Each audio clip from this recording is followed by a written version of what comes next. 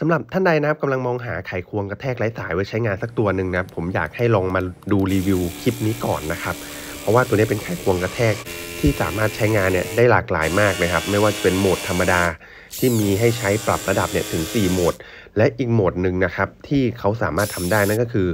โหมดที่มีระบบ AI เนี่ยช่วยในการทำงานด้วยนะครับ ซึ่งแต่ละโหมดของโหมด AI เนี่ยสามารถนำไปปรับประยุกต์ใช้งานเนี่ยได้หลากหลายอย่างแน่นอนนะครับ ไม่ว่าจะเป็นโหมดที่ใช้ในการยิงตะกูยาวๆ โหมดสำหรับงานนับ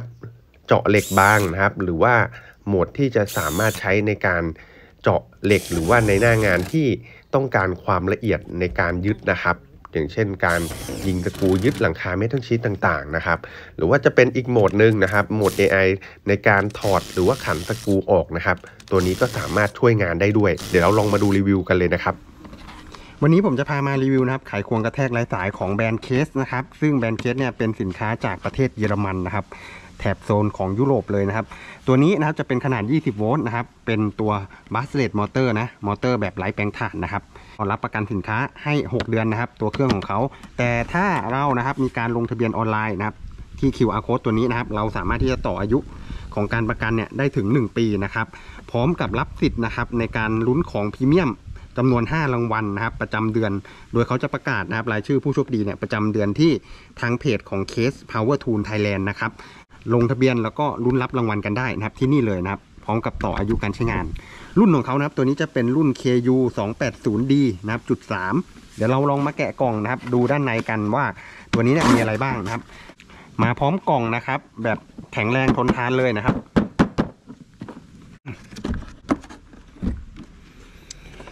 เปิดกล่องมานะครับ เราก็จะเจอกับตัวคู่มือนะครับ พร้อมกับใบรับประกันนะครับ ตัวสินค้ามาให้นะครับ มีแบตเตอรี่ขนาด 20 โวลต์ 2 แอมป์มาให้ 2 ก้อนเลยนะครับ มีแท่นชาร์จแบตเตอรี่มาให้อุปกรณ์นะครับ พวกตัวคลิปตัวที่ใส่ดอกไขควงนะครับ มีดอกไขควงแล้วก็สกูมาให้ด้วย มาดูตัวไขควงกระแทกนะครับ ความรู้สึกแรกเนี่ยต้องบอกว่ามีตัวขนาดที่เล็กมากนะ เท่ากับฝ่ามือของผมเลยนะครับ จากที่สเปคที่ผมดูนะครับ เขาสามารถทำแรงบิดได้สูงสุดอยู่ที่ประมาณ 190 นิวตันเมตรนะซึ่งผมคิดว่าเพียงพอสำหรับงานช่างงาน DIY ทั่วไปแล้วนะครับ การติดตั้งต่างๆเนี่ย 190 นิวตันเมตรเนี่ยถือว่าเกินพอนะครับ เดี๋ยวเรามาดูในส่วนของน้ำหนักกันนะครับ ผมว่าไม่ถึง 1 กิโลอย่างแน่นอนนะ นี่นะครับประมาณ 900 กรัมนะครับ ตัวนี้นะครับ ถ้ารวมแบตเตอรี่หนึ่งก้อนนะครับ ผมลองชั่งให้ดูนี่ครับหนึ่งจุดสามกิโลกรัมนะครับ หนักเบาเลยนะครับ ใช้งานเนี่ยได้อย่างสบายแน่ๆนะครับ อีกอย่างขนาดเล็กกระชับมือนะครับ ใช้งานได้กระชับมืออย่างมากนะครับ สามารถพกพาได้สะดวก เราสามารถที่จะเสียบแบตเตอรี่นะครับ เราใช้งานได้เลยนะครับ สังเกตดูนะครับ สีที่เขาใช้เนี่ยก็จะเป็นสีดำเกือบทั้งตัวเลยนะครับ จะมีตัดในส่วนของสีแดงคือ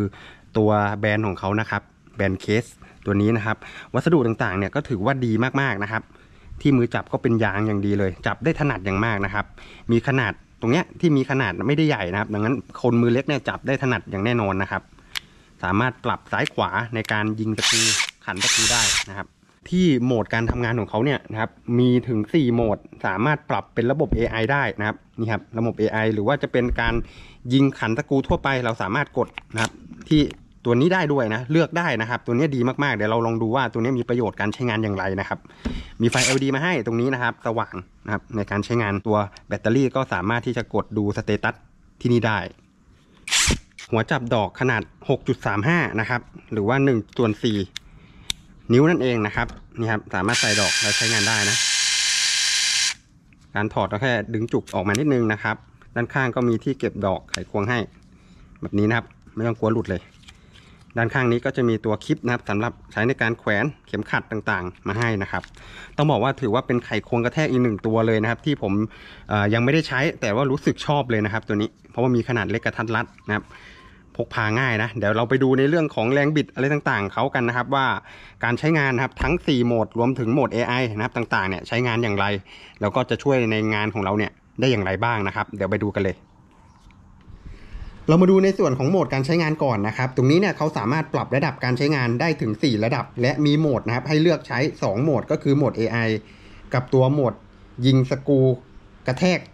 เหมือนปกติเลยนะ ก็คือกดปุ่มที่นี่นะครับ ก่อนที่จะกดปรับนะครับ เราต้องมีการกดสวิตช์ก่อนหนึ่งครั้งนะกดเบาๆนะครับ เพื่อให้ตัวระบบเนี่ยเขาทำงานแล้วเราสามารถกดเลื่อนนะครับ ระดับนะครับของตัวไขควงกระแทกได้นะ ก็ไล่ไปเลยครับ ระดับ 1 2 3 4 นะครับ ตามความแรงเลยนะครับ อันนี้เป็นโหมดขันปกติ แต่ถ้าเราต้องการใช้ร่วมกับ AI เราก็กด AI ด้วยนะครับ นี่นะครับ จะมีไฟสีฟ้าเนี่ยขึ้นมานะครับ แบบนี้นะครับ แล้วเราก็กดเลื่อนได้ เห็นไหมครับ จะมีไฟสีฟ้ากับสีเขียวตามระดับที่เราต้องการใช้งาน ทีนี้นะครับ โหมด AI กับโหมดธรรมดาแตกต่างกันอย่างไร เดี๋ยวเราลองมาดูกันนะครับ ในโหมดธรรมดาหรือว่าการขันสกูทั่วไปนะครับ เราสามารถที่จะกดนะ ในบริเวณที่เป็นแถบสีขาวตรงนี้เพื่อปรับระดับ ความแรงนะครับ ของตัวไขควงได้เลยนะครับ ตามปกติที่เราเคยใช้งานไขควงทั่วไปเลยครับ อย่างตัวระดับที่ 1 หรือว่าสปีดที่1เนี่ยตัวนี้เขาจะสามารถทำความเร็วรอบได้ที่0ถึง1,000 รอบต่อนาทีนะครับ แล้วก็อัตราการกระแทกนะครับจะอยู่ที่0ถึง1,400 ครั้งต่อนาทีนั่นเองนะครับ ก็จะเป็นการปรับนะครับในส่วนของสปีดตามที่เราต้องการในหน้างานของเราให้เหมาะสม เท่านั้นเองนะครับสำหรับตัวโหมดแรกนะครับ อันนี้จะไม่ใช่โหมดที่มี AI เข้ามาช่วยนะครับนี่ครับจะเห็นว่ายิ่งเราปรับสปีดสูงขึ้นนะครับ ความเร็วรอบรวมถึงอัตราการกระแทกเนี่ยของแต่ละสปีดก็จะมากยิ่งขึ้นนะครับ การดังนั้นเวลาเรายิงสกูต่างๆเนี่ยมันก็จะรวดเร็วมากยิ่งขึ้นนั่นเองนะครับ เราก็สามารถที่จะปรับสปีดหรือว่าความเร็วรอบ รวมถึงอัตราการกระแทกเนี่ยให้เหมาะสมกับหน้างานของเราได้นะครับ ซึ่งมีให้เราปรับเนี่ยถึง 4 ระดับเลยนะครับ โหมดแรกหรือว่าโหมดธรรมดาที่ผมได้สาธิตไปให้ดูเนี่ยก็เป็นโหมดทั่วไปที่ไขควงกระแทกเนี่ยสามารถทำได้อยู่แล้วนะครับ เราก็จะเห็นกับไขควงทั่ว ๆ ไปที่เราเคยใช้งานกัน แต่ในไขควงกระแทกของเคสเนี่ยเขาจะมีอีกโหมดหนึ่งก็คือโหมด AI ในแถบสีแดงตรงนี้นะครับเขาจะบอกว่าสัญลักษณ์นะครับแต่ละตัวแต่ละระดับเนี่ยนะครับเหมาะสำหรับการใช้งานอย่างไรนะครับตัวอย่างระดับที่1เนี่ยเหมาะสำหรับงานไม้นะครับ ระดับที่ 2 เหมาะสำหรับงานที่เป็นเหล็กหรือว่าเป็นวัสดุบางๆนะครับ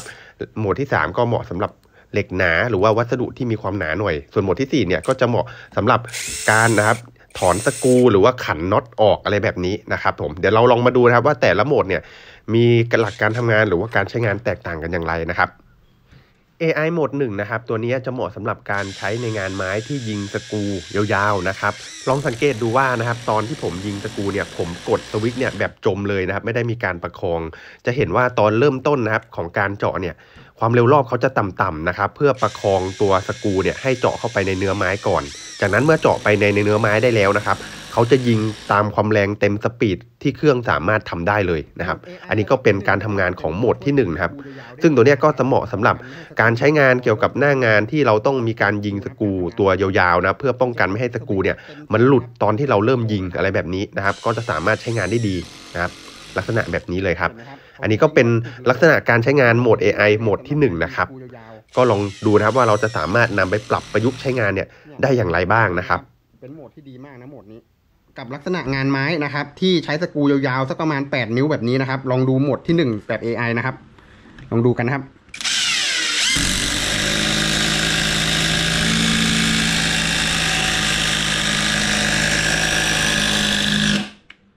นี่นะครับ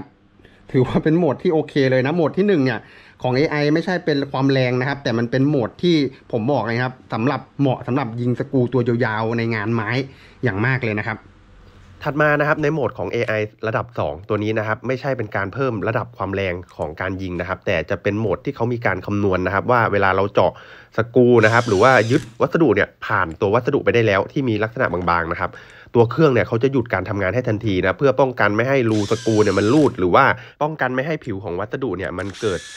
ความเสียหายหรือว่ารอยบุ๋มต่างๆนะครับซึ่งโหมดนี้เราสามารถใช้กับลักษณะที่เป็นวัสดุบางๆนะครับอาจจะเป็นตัวแผ่นเหล็ก หรือว่าเป็นแผ่นสังกะสีแผ่นอะคริลิกต่างๆนะครับตัวนี้ก็สามารถปรับประยุกต์ใช้งานโหมดนี้ได้เลยครับ ถัดมาเรามาดู AI โหมด 3 กันบ้างนะครับ ซึ่งโหมดนี้เนี่ยก็จะคล้ายๆกับโหมดที่ 2 แต่การทำงานเขาจะต่างกันก็คือเมื่อเขามีการคำนวณนะครับ ว่ามีการเจาะนะครับได้ทะลุนะวัสดุแล้วเขาจะมีการขันสกูต่อ แต่ว่าจะขันในความเร็วรอบที่ต่ำๆมากๆนะครับ เพื่อให้เราเนี่ยสามารถกะระยะหรือว่าน้ำหนักมือในการที่จะขันสกูต่อไปได้นะครับ ซึ่งโหมดนี้ผมมองว่าสามารถปรับประยุกต์ใช้ได้หลากหลายหน้างานเลยนะครับไม่ว่าจะเป็นการเจาะเหล็กที่มีความหนา แล้วเราต้องการให้ตัวสกูหรือว่า วัสดุที่เราขันเนี่ยมันขันเข้าไปอีกเล็กน้อยนะครับ เพื่อทำให้มันแน่นอะไรแบบนี้นะครับ อย่างเช่นตัวอย่างเนี่ยผมเอามาใช้ขันตัวหลังคาเมทัลชีตเนี่ยผมว่าโหมดนี้ก็เหมาะเลยนะครับ เพราะเมื่อเราเจาะได้ทะลุนะครับ ตัวเหล็กด้านล่างแล้ว เขาจะมีขันการขันต่อนะครับ ที่โหมดการขันแล้วก็อัตราการกระแทกเนี่ยที่ช้าๆนะครับ เพื่อให้เราจะสามารถมีการกะระยะในการยิงสกรูได้นะครับ จะใช้ในการติดตั้งอุปกรณ์ต่างๆ เช่นงานไม้งานเฟอร์นิเจอร์ หรือว่าติดตั้ง เครื่องมืออุปกรณ์ต่างๆเนี่ยโหมดนี้ก็ใช้งานได้ดีเลยนะครับ อันนี้เป็นโหมดที่ 3 มาดูต่อนะครับในโหมด AI ระดับ 4 หรือว่าโหมด AI 4 ตัวนี้นะครับเขาทำมาเพื่อใช้ในการขันตัวน็อตหรือว่าสกูตอนขันออกเท่านั้นนะครับ ถ้าเราใช้ในโหมดนี้แบบการขันเข้านะครับ ทั่วไปเนี่ยมันจะไม่ต่างกับโหมดธรรมดาเลยนะครับ อันนี้ผมยิงเปรียบเทียบให้ดูนะครับเขาก็จะยิงตามแรงนะครับ ที่เขาทำได้ไม่ว่าจะเป็นความเร็วรอบหรือว่าอัตราการกระแทกเลยนะครับ แต่เราสังเกตครับถ้าเราหมุนออกเมื่อไหร่นะครับ อันนี้ผมเปรียบเทียบกับการหมุนออกแบบธรรมดา ซึ่งการหมุนออกธรรมดาเนี่ยเขาก็จะหมุนแบบตามความเร็วรอบสูงสุดของเขาจนสกูหรือว่าน็อตเนี่ยมันออกมาจนหมดเลยนะครับ แต่ถ้าเราใช้เป็นโหมด AI 4นะครับการหมุนออกเนี่ยเมื่อเขาหมุนออกได้จนน็อตมันหลุดหรือว่าหลวมแล้วนะครับเขาจะหยุดการทำงานทันที เพื่อป้องกันไม่ให้น็อตหรือว่าสกูเนี่ยมันหลุดออกจากชิ้นงานนะครับผม ซึ่งโหมดนี้เราก็จะใช้งานนะครับในเช่นเรื่องของการ ถอนสกูนะครับ อาจจะเป็นที่สูงหรือว่าด้านใต้แบบนี้ต้องไม่ต้องการให้สกูมันหลุดออกมาเลยนะครับ เราก็สามารถที่จะใช้โหมดนี้ในการขันสกูออกได้นะครับ หรือว่าจะเป็นการขันตัวน็อตยึดล้อรถพวกนี้นะครับ ก็จะเป็นอีกโหมดหนึ่งที่มาช่วยในการใช้งานได้นั่นเองนะครับ ก็เป็นโหมดการทำงานทั้งหมดนะครับของไขควงกระแทกไร้สายของเคสนะครับ จากประเทศเยอรมันตัวนี้นะถือว่าเป็นอีกหนึ่งไขควงกระแทกเลยที่มีฟังก์ชันการใช้งานเนี่ยมาให้แบบครบแล้วก็ มากกว่าไขควงกระแทกรุ่นอื่นๆ ที่ผมเคยใช้เลยนะครับ ดังนั้นท่านใดกำลังสนใจไขควงกระแทกไร้สายอยู่ ตัวนี้เป็นอีกหนึ่งตัวเลือกในการใช้งานที่สามารถนำไปใช้งานได้ดีเลยครับ เพราะว่าเขามีโหมดการใช้งานให้เราเลือกใช้ และสุดท้ายเลยนะครับในเรื่องของราคานะครับทั้งเซตที่ผมรีวิวให้ดูในวันนี้นะครับราคาของเขาเนี่ยจะอยู่สักประมาณ4,000ต้นๆนะครับ ก็ลองเข้าไปดูในข้อมูลที่ผมจะใส่ไว้ให้นะครับใน description หรือว่าในคอมเมนต์นะครับรวมถึงตะกร้าด้วยนะครับ ลองเข้าไปดูเป็นข้อมูลเพิ่มเติมได้นะครับสำหรับท่านใดที่กำลังมองหาไขควงกระแทกไว้ใช้งานอยู่สักตัวหนึ่งนะครับ ไขควงกระแทกไร้สายของเคส แบรนด์นี้เนี่ยไม่ทำให้ผิดหวังอย่างแน่นอนนะครับสำหรับทีนี้ผมขอตัวลาไปก่อนครับ สวัสดีครับ